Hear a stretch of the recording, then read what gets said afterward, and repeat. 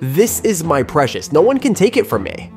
Just like Gollum from The Lord of the Rings, who, after obtaining the One Ring, reveals his sinister true self, scheming to entrap the protagonists and ensure they can never take the ring away again.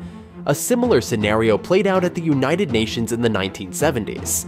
The UN resolution restored the rightful place of the People's Republic of China in the UN, granting normal state status to another Chinese government long excluded due to the Chinese Civil War. But this marked the beginning of a nightmare for many countries. China, by distorting the content of Resolution 2758, not only claimed to be the sole legitimate government of China, but also aggressively suppressed nations that recognized Taiwan's sovereignty. Countries showing friendliness towards Taiwan face ruthless criticism or economic pressure from China. Meanwhile, nations that abandon Taiwan and acknowledge China not only find their economies entangled with China, but also see their domestic leaders become China's puppets, as if they were mere colonies of China. Remember the COVID-19 pandemic that erupted in 2020?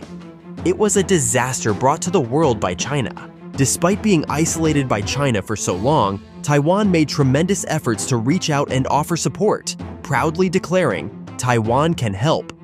The world cannot continue to let these 23 million people remain isolated. It's time to stand together and acknowledge Taiwan's contributions. China's global harm began with the distortion of Resolution 2758, using it to relentlessly exploit the world's resources for its gain. Should we continue to let China act with impunity? Isn't it time for them to face some consequences?